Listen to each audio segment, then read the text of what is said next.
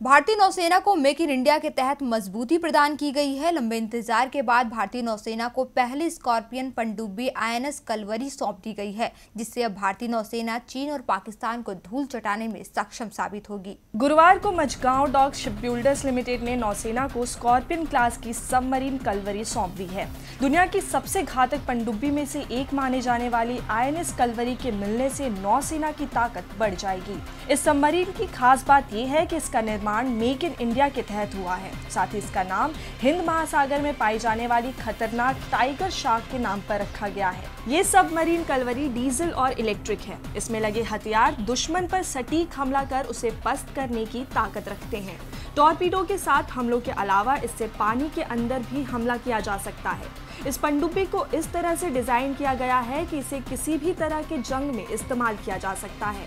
आपको बता दें कि भारत ने ए सी फाइव और पनडुब्बियों को नौसेना में शामिल करने का फैसला किया है, जिनमें दो और पनडुब्बियों, यानी कि खंडेरी और करंज का परीक्षण अभी भी जारी है। गौरतलब है कि भारतीय सबमरीन ऑपरेशंस के 50वें साल को गोल्डन जुबली के तौर पे मनाया जा रहा है।